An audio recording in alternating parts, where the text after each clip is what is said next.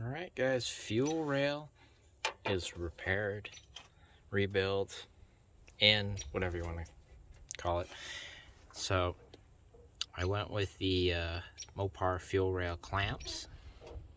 Uh, I think they were new old stock. Rubber was plenty pliable and I when I put them on I applied some seal all to the rubber. Anyway, that seemed to work. And I've got these orange colored Mopar injectors that came off of my my spare motor, my parts motor. Anyway, they've got only 111,000 on them versus what the 272,000 the others have. And then over here, we reuse the original quick connects and we put new high pressure fuel line. This is quarter inch and this is 5 sixteenths. And then we've got some high pressure fuel hose clamps on both ends. Now, I cut this with like a sawzall blade, like I just, you could put a vice grip on it, but I was too lazy to find one. I just go by hand. Because you don't want to, I don't know, start your vehicle on fire because there's still fuel in these lines. This one in particular. Or you could drain the fuel out of it and, you know, take a cut-off wheel and just zip the uh, what are they, the crimp connects that came with them. Anyway, that's the next step done. Now I'm going to lay the wire harness in, and then I'll be able to plumb the new intake on. Alright guys, it may be a first ever on YouTube, at least I've never seen it. I, uh, I rebuilt the temp sensor with some uh, 220 grit sandpaper. It was like, you know, corroded green color. I don't know, it won't focus. Come on. Focus. Yeah, yeah, it was like corroded and green. As you can see, hints of it. But I took some 220 to it. Now she's all shiny. So now we're going to throw that guy in.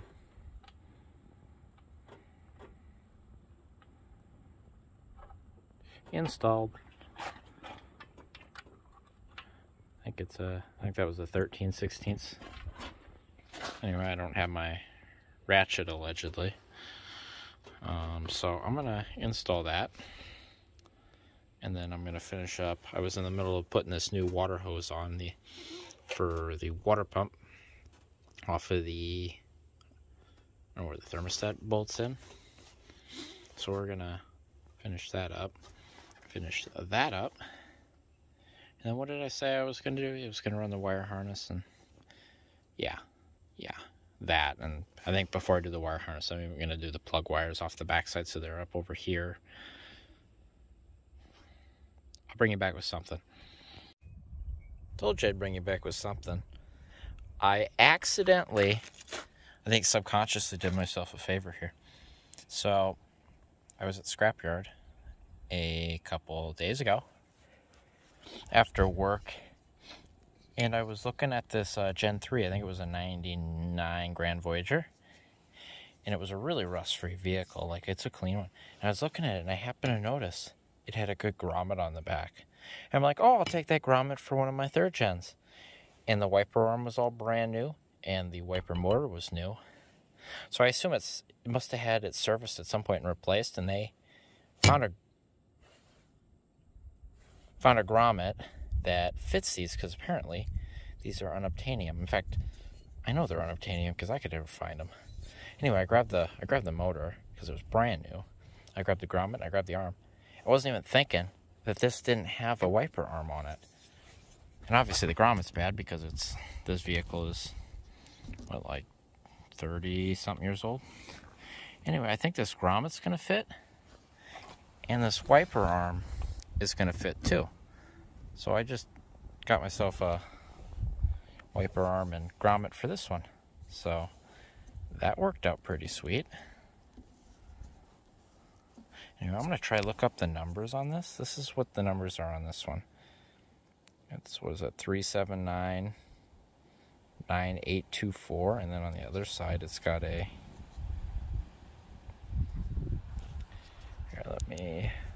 3 here, focus on it. 36119 and then a little 3 in a star. Anyway, this will fit first gens. I know it'll fit second gens because the second gen and third gen, I think, are the same motor. Anyway, so they're all the same motor, so this will fit your first, second, and thirds. I don't know if it'll fit a fourth gen or not. But that's sweet. Too bad. I wonder if I couldn't get that on, you know, with the wiper on. I'll probably have to take that all off and put it on that way. But if I do that, I might as well put the... I don't think I can put the new motor on because the pigtail's going to be different, but this motor's probably fine. Anyway, I got a wiper arm and grommet. Anyway, I'm super happy I did that. Oops. Okay, so I'm getting ready to, you know, get the thermostat bolted back in, and I'm like, well, there ain't very much sealant surface here, so I'm like, I'm gonna go downstairs, and I think I've got another uh, housing for the thermostat. And I'm like, you know, and I found it, and I brought it up here, and I'm looking at it.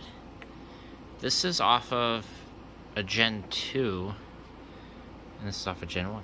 So, between the first and second generation, they flipped which piece the uh, the recessed piece was on because on the the newer version gen 2 and 3 the recess is actually on the lower intake where this bolts to. And then which means that the upper piece right here for the gen 2 and 3 would be flat. But apparently on the gen 1s the intake is flat and the housing has the recess in it. Isn't that neat? That would have... I don't think that would have bolted down right. That would have not been good. Anyway, good catch. Hmm. Guess I have to use this one. I'm gonna sand that up real good, make sure that's got a good sealing surface. I guess the whole thing all the way around is, there's not much to it. We'll, uh, we'll clean that up.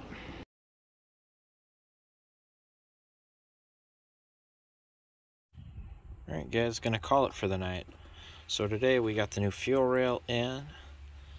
I uh, I put the new idler on. I put the water pump pulley on. We got the new fuel lines on.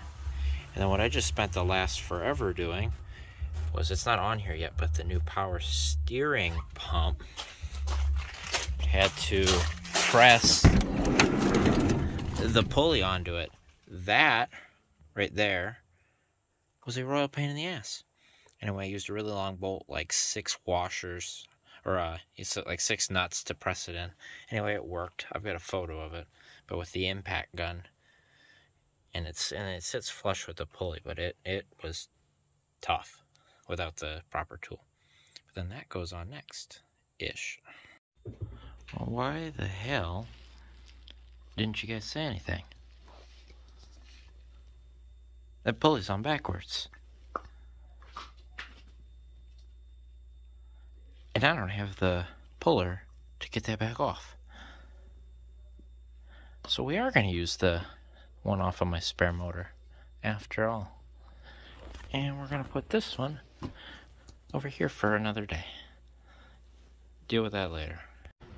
Well guys, I got it started. I got the three main bolts started. I still got to get the uh, bracket on the backside in and started. But I'm going to snug those up pretty close anyway. So, we got her whipped. Alright guys, power steering pump is in and tightened down real good and it lines up perfectly. Who'd have knew if the pulley's on the right way it would uh, it would line up. Anyway, now I feel like I did something today. And I can go inside because I am freezing my, my butt off. Yeah, but look at that. Those will line up real nice. So, now that that's in, before I button up any of this, I want to be able to get at the uh, the line there that goes into the rack because that's hard to get at from the from the bottom. I think. Well, it's not too bad, but I think with this open up top, I'll be able to get at it too because I got to put the new uh, pressure line in. I already I've got the the uh, return line plumbed in onto the pump on this side. I just gotta hook it in over down there, which is no big deal. But uh, I think I might call it today because it's freaking cold and windy and freezing. But it worked out well because the ground below is actually frozen and not water, so I didn't like get soaked down there. So maybe I will. I might look at these lines. I, I'm not going to do anything more than the lines, but maybe I'll, I'll look at the lines quick. Alright, well I got the low pressure line on down here, and I got a hose clamp on it. Now the high pressure line on the rack down there, you can't really see it here. You know what I can do? Um, here. Just kidding, I was gonna try use flash, but it says my phone is too cold to use flash. Anyway, you can't see it, but down there on the rack, there's two fittings that go into it. The fitting that's the highest fitting is your high pressure one. What I'm gonna do since I'm replacing the line is I'm gonna take a pipe cutter and I'm gonna cut that off so it's straight. And I'm gonna take a deep well socket and put it on there and crack that loose. That's what I'm gonna do tomorrow or whenever I get to it. Probably tomorrow at some point, but yeah, I'm gonna cut that line and I'm gonna put a socket on it because it's it's on there good. Well, here's our line that we have to cut. Now, I'm hoping I can get that guy in there most of the way and kind of go back and forth around it. And that way I can cut it off straight so I can put a socket on it and get it off. So we're gonna we're gonna try to get this guy. This is like a like a copper like pipe cutter for like plumbing. Anyway, that should work just fine. We're we're gonna try that real quick and we'll see where we get. Guys, so we're cut through most of it, like the bottom half, like we're cut through it hoping I can flex that and bend that off with like a vice grip because I can't get a full swing on it because of the low pressure return fitting blow up. But we're gonna get on there with a vice grip. We're gonna try to break that off and we'll see if that works. But I've got it mostly cut loose. Otherwise, I'll come in with like a pipe cutter or like a snipping tool and just snip it. All right, guys. Yep, bent it off with the pliers. So I had it mostly cut. Anyway, I got a deep well 18 millimeter socket we're gonna try that. I'm gonna need two hands probably, but I figured it was worth a shot. Anyway, that's what I'm gonna do. So obviously you can do that when you're in the old line. And the new line should go in easy enough with a wrench that, you know, because it's new and not seized to the rack. So we're gonna try that. Oh, you guys are out of focus. But I got it.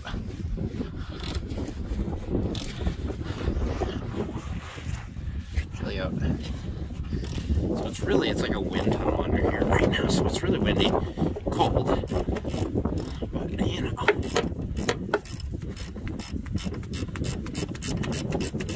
Anyway, I'm gonna do this for the next 10 years. Make sure I should be able to maybe spin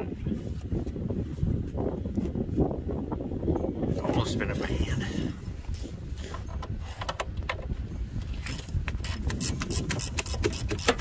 You got to make sure when you're doing this that your O-ring comes out with it.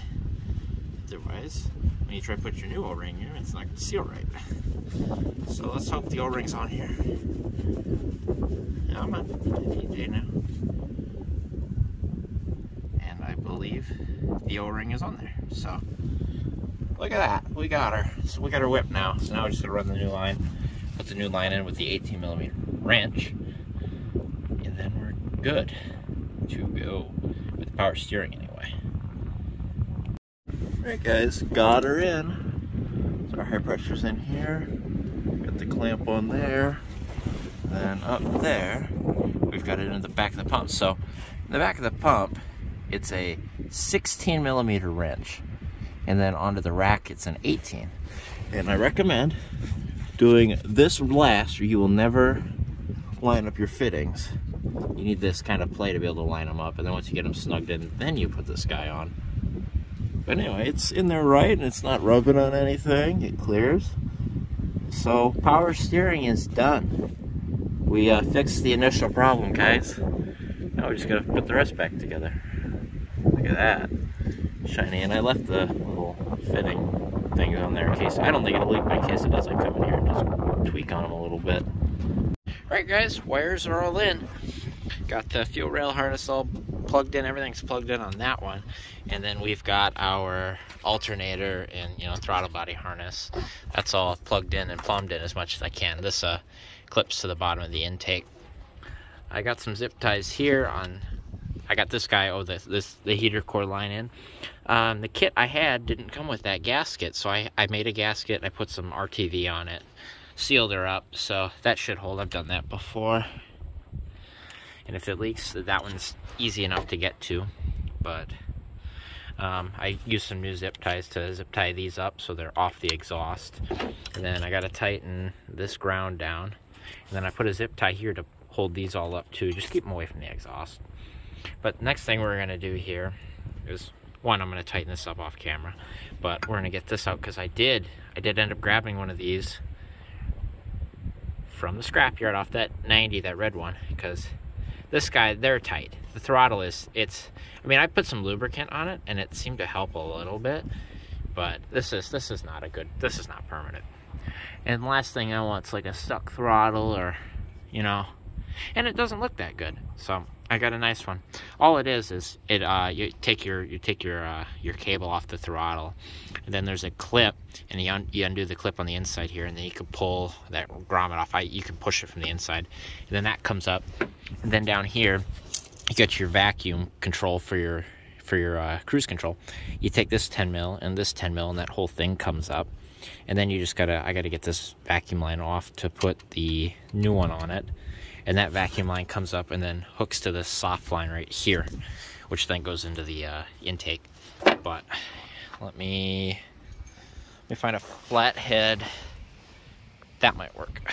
So we've got in here kind of shift my tools out of the way. So we've got this this guy right here which holds your your throttle cable in and you got to get him unclipped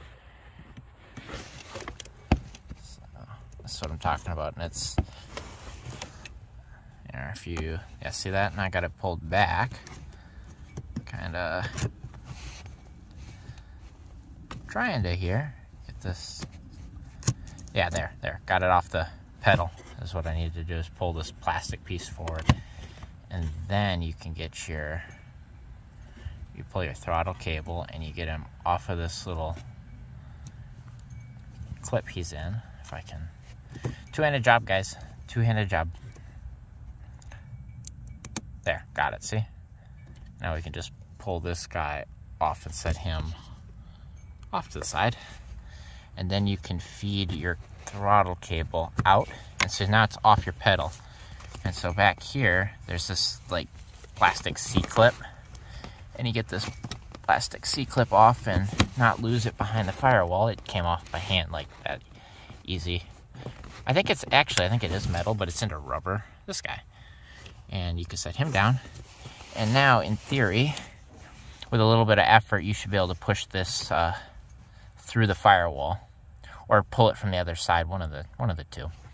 Let's, let's try pull it this time. Last time I pushed it with a screwdriver, but you want to be careful because you don't want to you don't want to stab your your rubber seal there.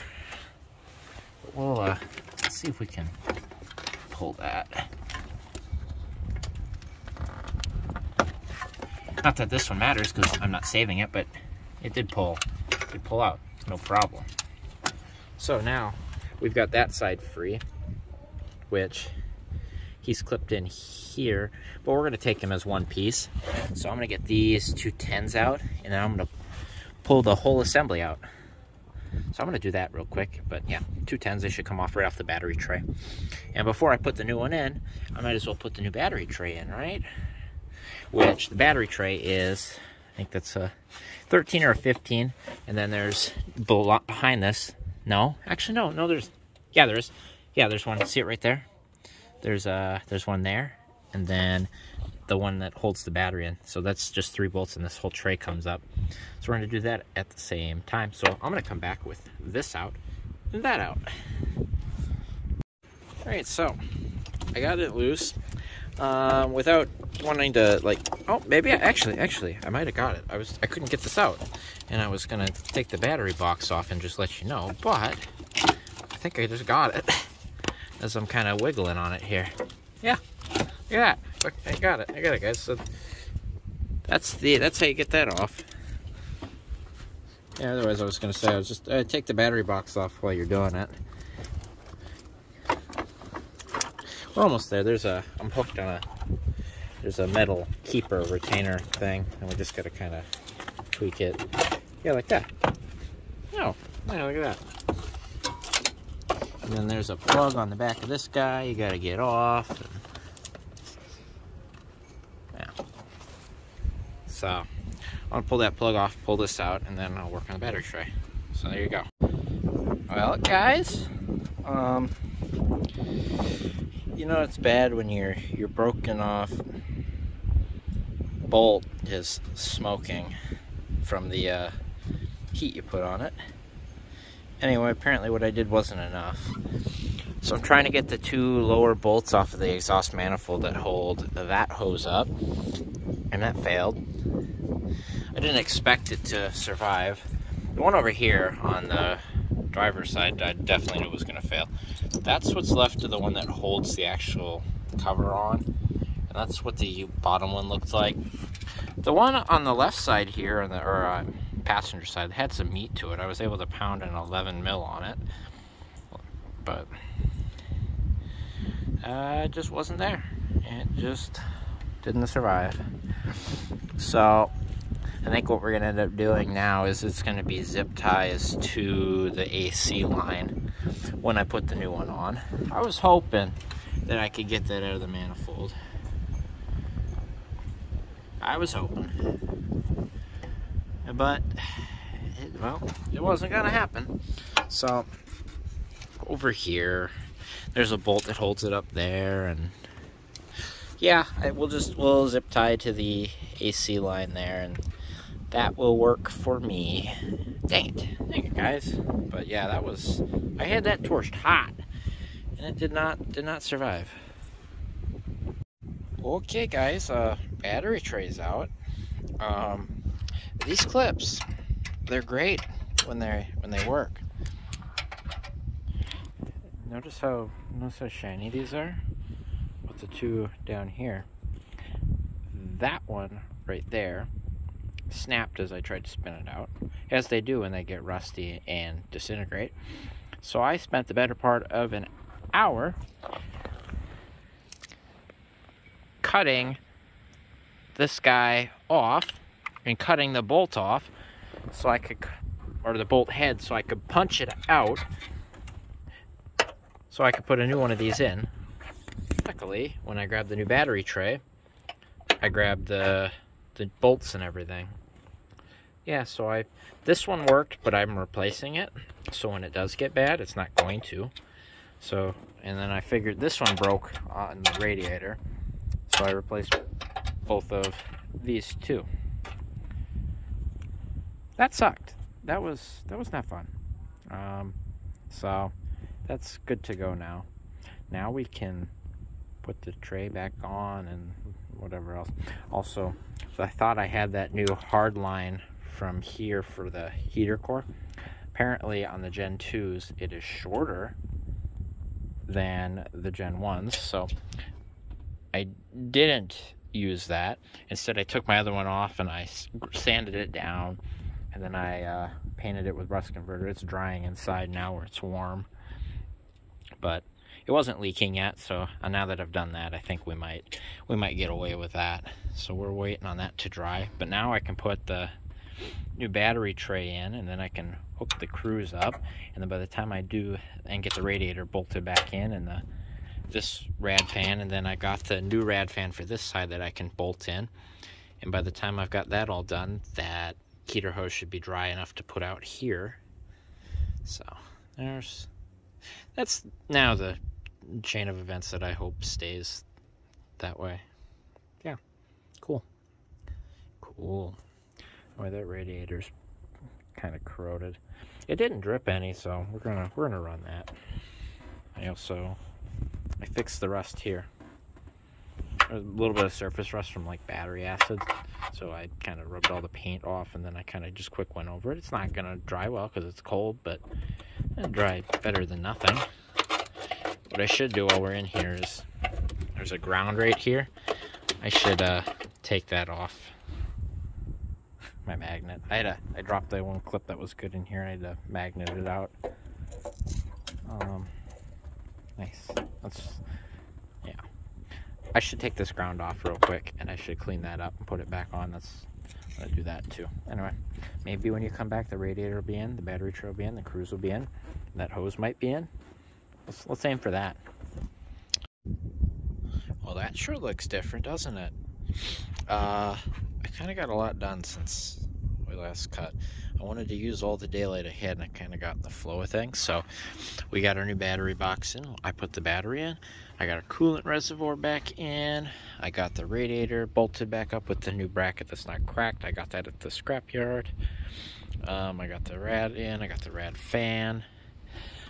Still working on this radiator fan. Um, I got two that I'm trying to make into one with the connector being broke on the one and the fan being blown apart on the other. Um, I got our throttle in and our cruise control modulator. I got, obviously, I got the intake back on. Got it all torqued down. I got the coil pack all wired up. I get this wrong once in a while. On this top row, your number one is not 135, it's 315 and then 246. I've gotten those backwards before and it would run like crap. Um, I got the vacuum line to the booster. I got all the vacuum lines in the back. I got our new PCV hooked up. That zip tie right there. The I think the like the exhaust gases or the oil coming from the intake expanded that um, vacuum hose. So I had to I put a zip tie on it. That should do us okay, I think. Uh, yeah, I, I think yeah that's oh I got this upper rad hose on. I got the lower one all tightened up. I got that coolant hose that I rebuilt with some rust converter and rust, you know black paint. I got that in there. It's holding pretty good with no with no hardware. It's kind of resting on the mounting point down there, but it'll be all right. I got the oil put in it with the new filter, the new oil pressure switch. I got all, yeah, I got all the vacuum lines out. I got all the plugins set up, hooked up. Got the ground strap done. Got that ground tightened down. I got the bracket down here for the intake back on. So the only thing I got left to do really is I got the alternator bracket, the tensioner, the alternator, and then this PCV hose. Apparently I didn't buy the right hose, so I'm missing that chunk. So I got to pick that up tomorrow. And then put the serpentine belt on and uh, the air box, and I think we're good to go. So yeah, this is looking pretty good. My hand's starting to get cold because I took them off to turn my phone on. Oh, throttle body. I gotta go clean this up real quick. Get this guy ready to go. It's not that dirty to be honest, but I'm just gonna do a quick cleanup. Put that on, call it a night. And, well, I might put the airbox on, but then I gotta get this and do this all tomorrow. That's where we're at. I'm gonna call that good. Have a good one. All right, throttle body's all cleaned and on. Intake's on. The only thing we're missing is the uh, alternator and the idler. Um, what I'm gonna try do, I think, I think I'm gonna try start it. I just want to see, and I got no belts hooked up, so I ain't gonna run it very long. I just want to see if it'll run. Make me sleep better tonight, or help me sleep better tonight. Our connections are pretty pretty loose, but that might work. I got dome lights. What I'm gonna do is I'm gonna prime it. Okay. Um, might need tighter battery connections first. Um, that might work. It now. Nope, we have no power. Okay. I'm going to tighten these up first, and then we'll come back. Alright, throttle body's all cleaned and on. Intake's on. The only thing we're missing is the uh, alternator and the idler. Um, what I'm going to try to do, I think, I think I'm going to try start it. I just want to see, and I got no belts hooked up, so I ain't to run it very long. I just want to see if it'll run. make me sleep better tonight. Or help me sleep better tonight. Our connections are pretty pretty loose, but that might work. I got dome lights. I'm gonna do is I'm gonna prime it. Okay. Um, might need tighter battery connections first. Um, that might work. Try it now. Nope, we have no power. Okay. I'm going to tighten these up first, and then we'll come back. Alright, we get dome lights again. Set that down there.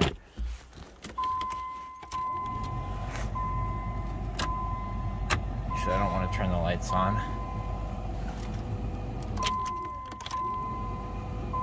Or prime it. Turn the fan off.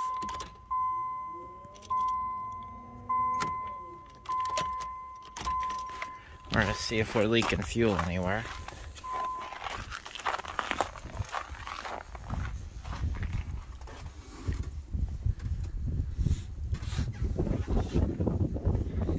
Don't see any fuel.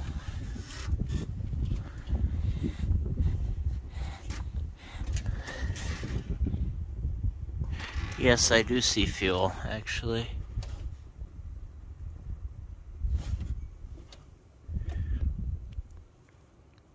We are leaking out of an injector.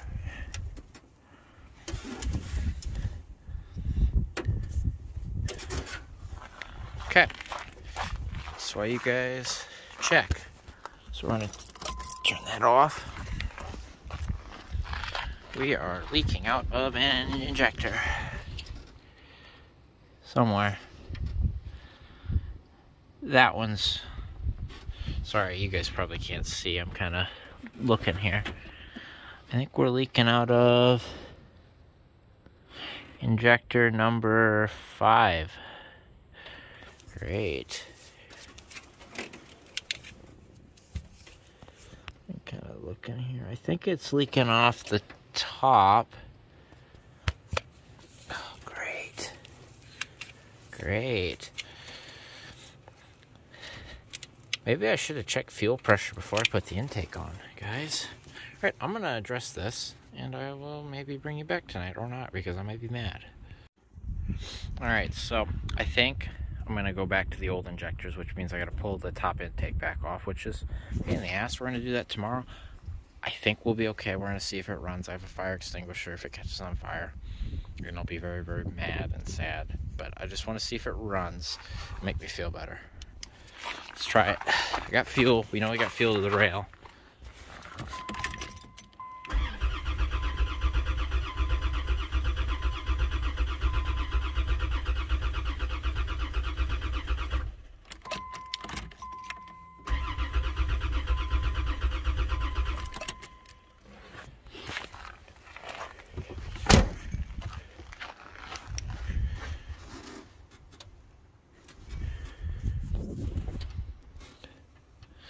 Bunch of fuel, and we've got no start.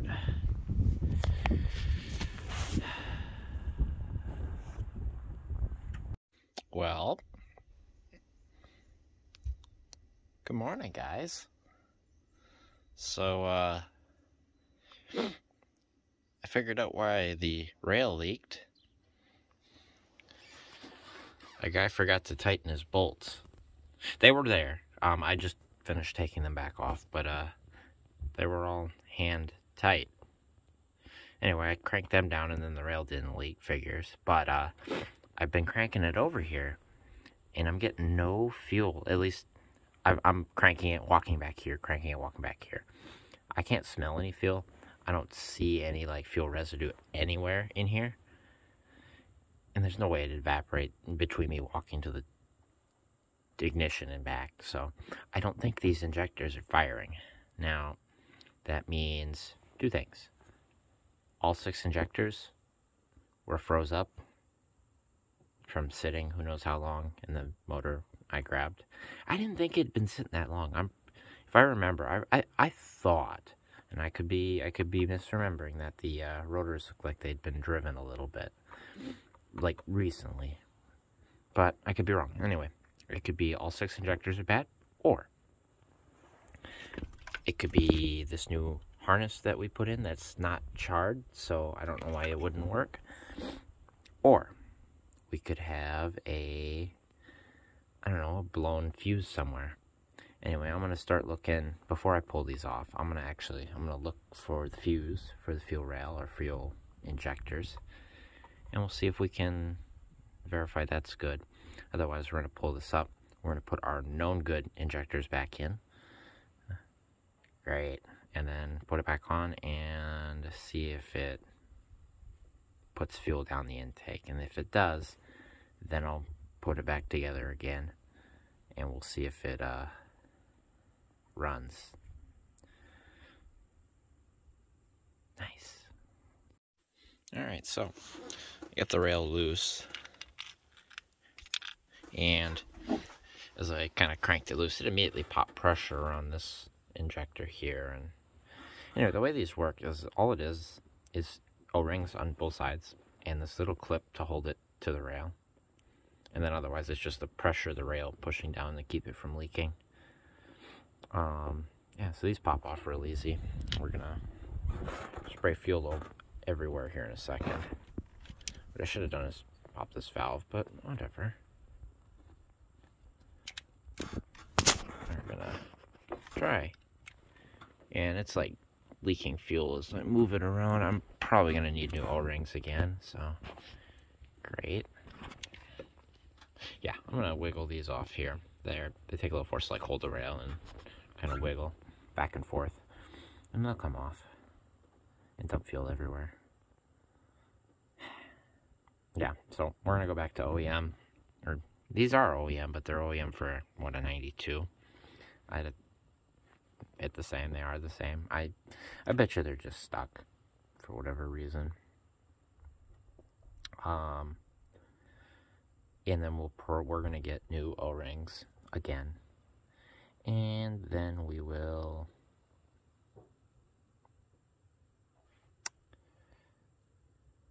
Oh, yeah, I'll get the PCV hose while I'm there think that's all I need. Alright guys, so it's been a bit here. Been doing some troubleshooting, if you will. I've got the old harness, the fried one here, hooked back up because we knew it worked. We've got the old injectors in. Um, got the new camshaft position sensor hooked in. Got the this guy hooked in. Still nothing. Nothing. Pulled this guy off, took the multimeter on it, verified we were getting 12 volts to our coil pack and we we were during crank but we were getting zero volts to the injectors. We've got so we had 12 volts here meaning the ASD circuit I believe I was reading up is working. The way that works is when you turn the key on the ASD circuit sends a pulse to the pump to pressurize the rail and then when you crank, it pulses the circuit that sends spark to here and to here. And if that wasn't working, we wouldn't have had spark here. But we have spark here, so that leads me to believe that the ECM is working. And we had no change with the, these injectors, no change with this rail, so it's not the injectors, not the rail, not our ASD circuit. That seems to be working, so it's not the ECM. And so what I ended up doing is I pulled the codes. And I can show you how to do that real quick on a ODB1 system. So, what you want to do, you want to turn your key on, and you want to turn it to run three times within five seconds and leave it on run. And then you want to watch these lights. And they're going to flash numbers at you. One, two, three. One, two, one, two. Now that is code PO322. And what that code is, is cam or crankshaft position sensor circuit. Now, we know it ran previously. And the change we made to that system is a new camshaft position sensor, which is plugged in right here. So, what either happened is I installed that incorrectly, or it's bad. More than likely, it's bad, but we'll find out. But to be safe, because I gotta make a hour drive one way to go get them, I ordered the cam and the crank sensor. And the crank sensor is way down there under the exhaust. Same plugin, um, so you'll want to look for a plug-in that looks like this guy right here. And it's just a it's just a press-on fitting. So all of this BS was because of probably that guy. So I'm going to go ahead and go pick those up because it is 1 o'clock and the store closes at 4. So I'll get there to 2.30ish, get back here about 4, and then slam that guy in, which now that I've got the stupid motor mount on is going to be difficult, so I'm just get in there with like a, see it, there's our, our bolt right there. That is it on the end of my fingertip. I got to get in there.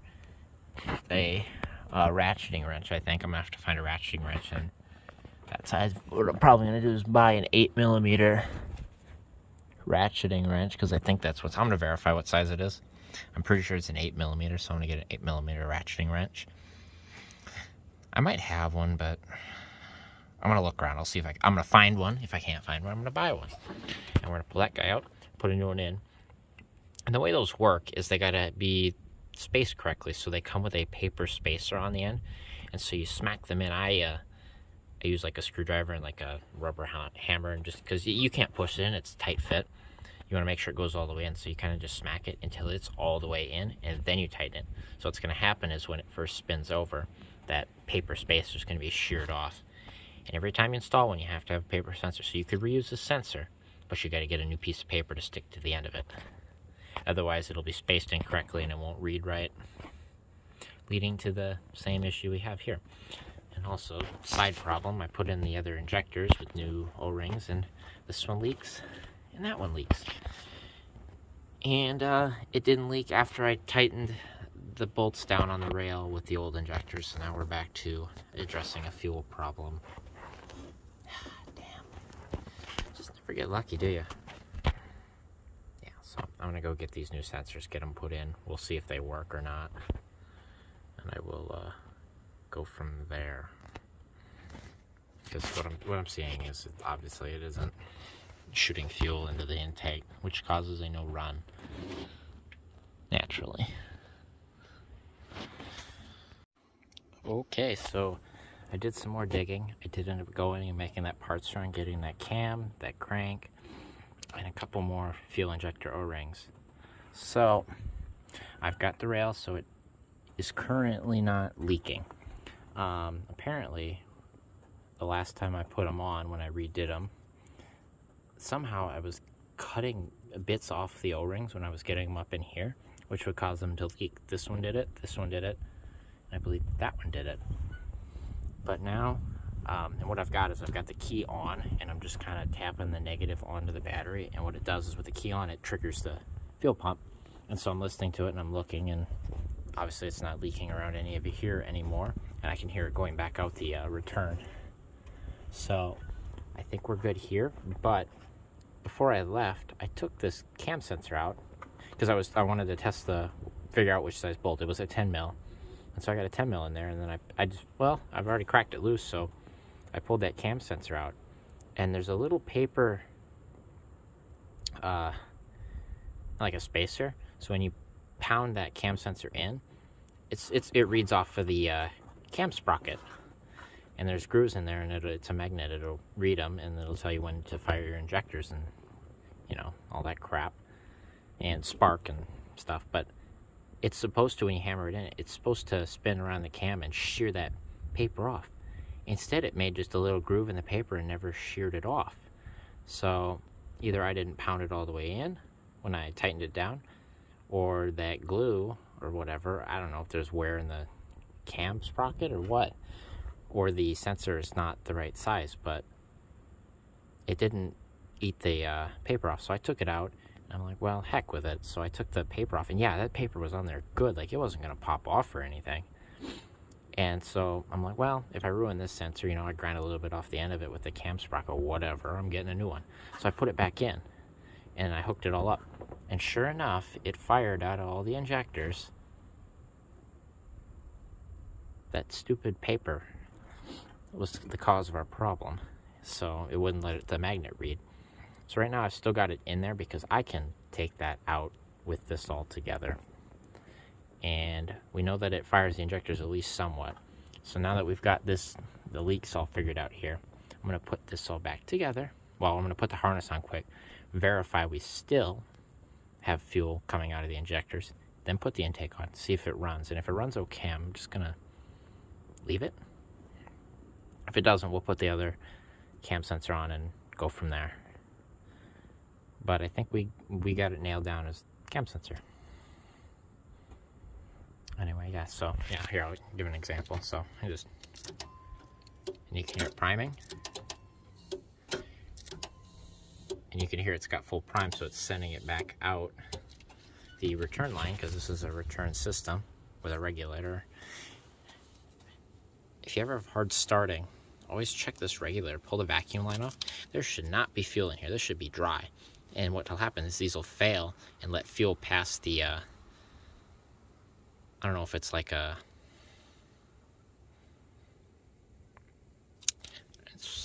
diaphragm. It's a diaphragm in here, I believe. And it'll, the diaphragm dries out it lets fuel past it, which obviously now you aren't regulating pressure properly, which causes the fuel rail pressure to be wrong.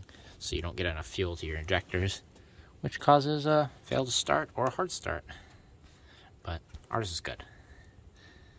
So we're gonna, I think we're gonna send her. I think we're gonna send her. I'm still suspect of this one, but I think it's just got wet fuel on it. I'm gonna watch it a few more times. Anyway, I'm gonna do that, verify this is good, and put it somewhat back together. Updates, guys. All right, so the stupid spacer 100% was a problem. So I got this all hooked up. I watched it fire on these three and these two. Wouldn't fire on this one.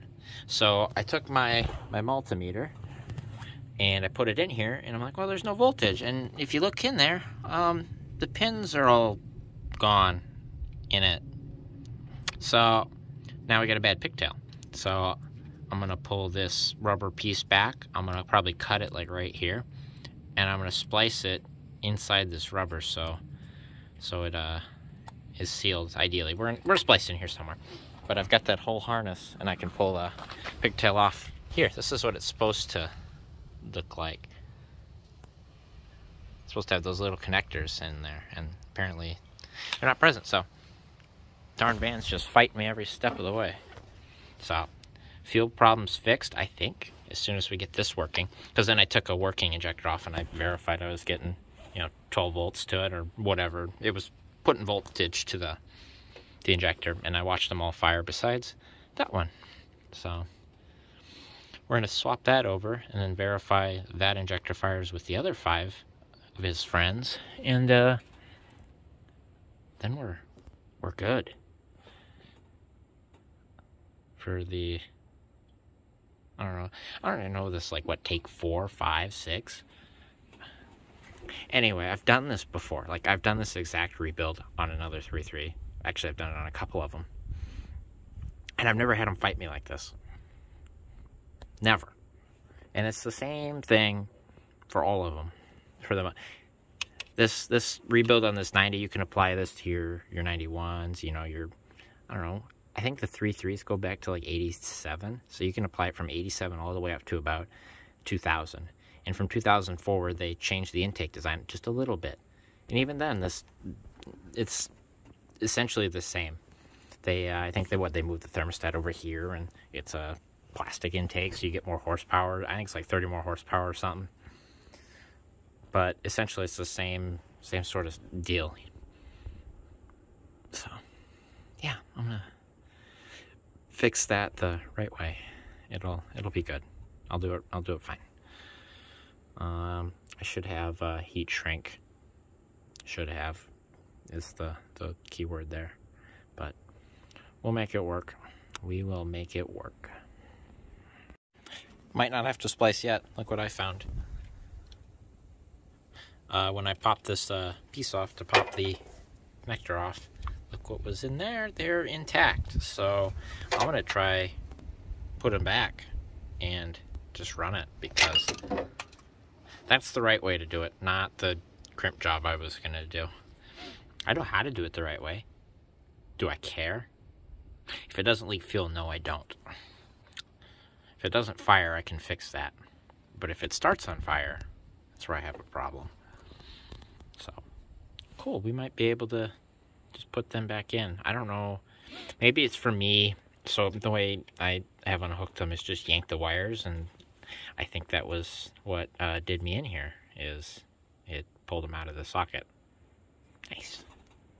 So maybe maybe do it the right way. And I think I think if you pop like a screwdriver in here, they're just held in by this little wire here. So if you maybe if you pull that loose, it'll just come out. I don't know.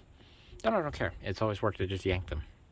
But like I said, this fan has been putting up an absurd fight. I win, you lose. I mean, technically we both win, right? Right? Yep, all six are firing. So I was able to press those back in and get this rubber over it. So I know to look there if we have any issues in the future with that. But um, we should be fine. That should be okay. So now we know injectors are firing. I know I'm getting 12 volts here because I tested it. This should work. And if it doesn't work, I fuck something up in the timing. I don't think I did that because it cranks and feels like it has compression. Sounds like it does. So I think I did good. At least I did that part right. The the really important part. But uh, Okay, and then I got to fix that vacuum line I broke when I was yanking the intake back out. Um, I got some rubber line. I'm just going to run a... Oh, sorry, you can't see. I'm just going to run a patch. I'm going to put a rubber line to that. Should be no problem. Apparently, this one... And I mean, it's not even... I must have, like, yanked it or hooked it. Because it's not even brittle. Honestly, it's surprising the vacuum lines on this van are not, like, brittle at all. Like, they're all pliable. Usually, it's just snap. And then you're running all rubber lines to everywhere and zip tying them in places and making a vacuum harness from scratch. So, yeah, ECM's not dead. It all works. Timing's probably good. I think we're gonna win today, finally. Finally. I thought I would have had it running last night. Actually, I thought I would have had it running a week ago, and then a week before that, and then, yeah. That's how those projects go. Never do this on your main rig if you want to go to work on Monday. So, now if you had Monday off, you'd have got it done, you know, the first day. But if you have to work on Monday, it'll never fail that you will not have it ready. So, always have a backup rig when you do stuff like this, or a plan or something, or take a sick day. You're sick, right? Mm hmm. Yep. Sick.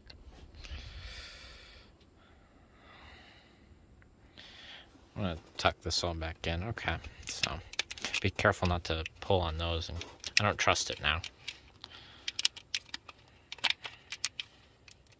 Yeah, and like even like this plastic, I don't know.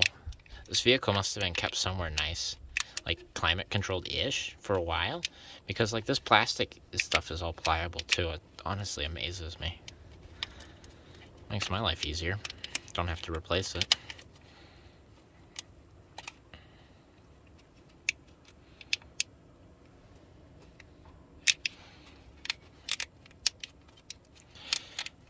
And see, even this is fighting me. Like, this should not be that difficult. Get the hell in there. Okay, got we there we go. We won. We won. You lose once again. Cool. So I'm happy.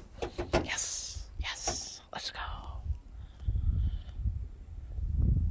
We're gonna call this take five. We're gonna call this take five. Alright guys, I think I got everything hooked up. We got the ignition all done, all the vacuum lines. I got that one repaired with a splice. I got the new PVC on, airbox is on. Fuel rail is tightened down, intake is tightened down, bracket on the back is in. Vacuum lines hooked up here, the two there, the three here. O2 sensors plugged in, and the other sensor on that. The, I, I don't know if it's a map sensor on the bottom of there, the intake, that's hooked up. Got that line in. I verified, and I'm going to verify again. Number one is hooked into the middle here because it's 315 and then 246. Hook the battery up. Leave that loose for now. I think we're good. That way I can pull it quick if I need to. Should run. Please run.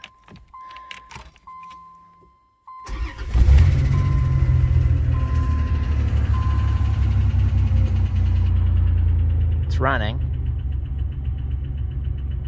I don't think I've got oil pressure, but I don't know. I don't know if that's working.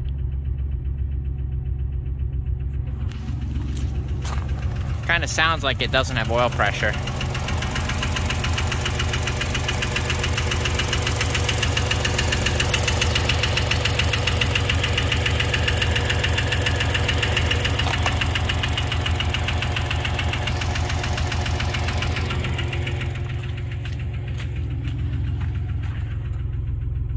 I oil pressure.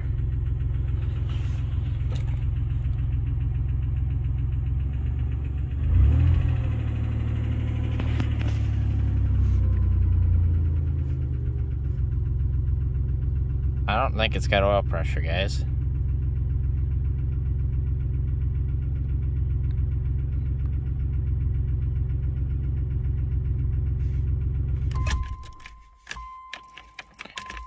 But it's also a new gauge. I don't know if the gauge is working.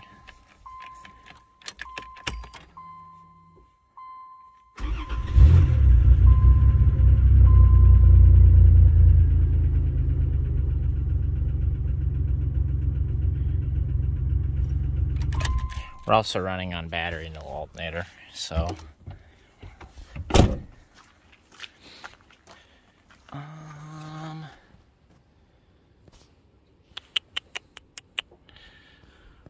huh. Might be worth popping the front valve cover off and just kind of looking.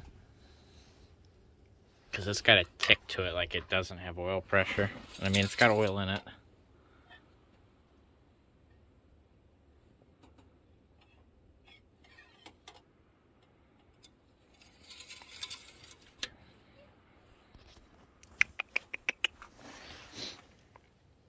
Is my oil pressure switch hooked up?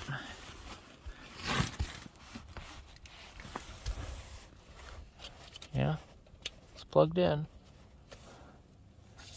Hmm.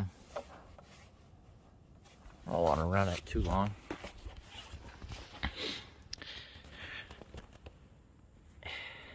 I mean, I'm pretty sure I got the oil pumping gauge to it. To the crank, that is.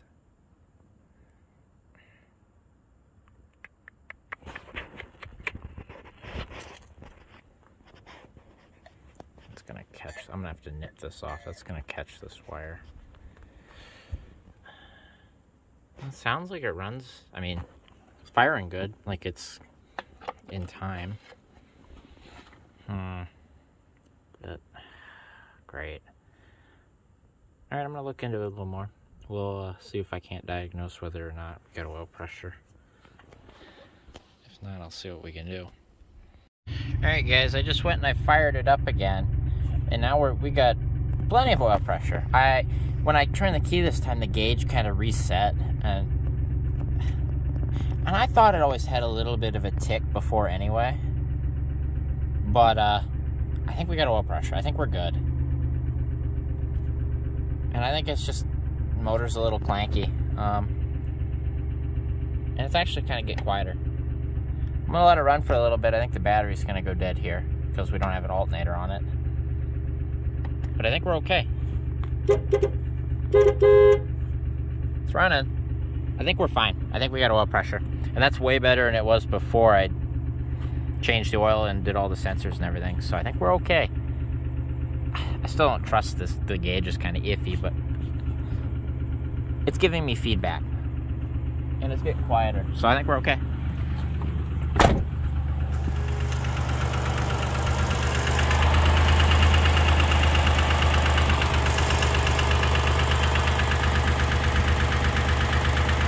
Running now. I want to put a little bit of RPMs to it, just a little bit. I just want to see if that gauge follows it.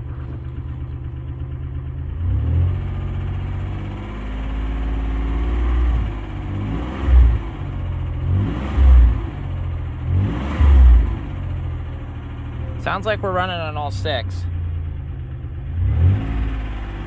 I think.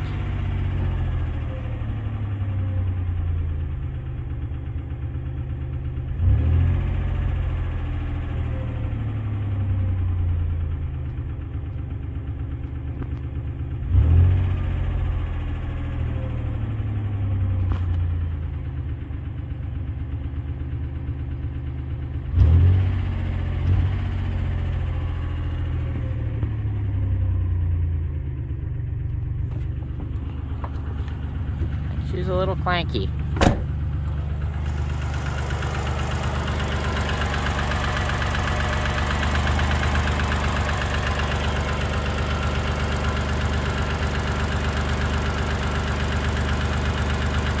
And I, I bet you that'll go away with a heat cycle. It sounds like a lifter. I mean,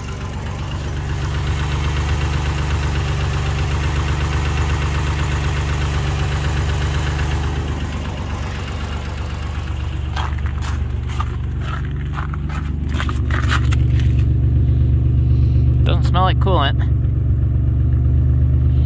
Burn all that moisture out.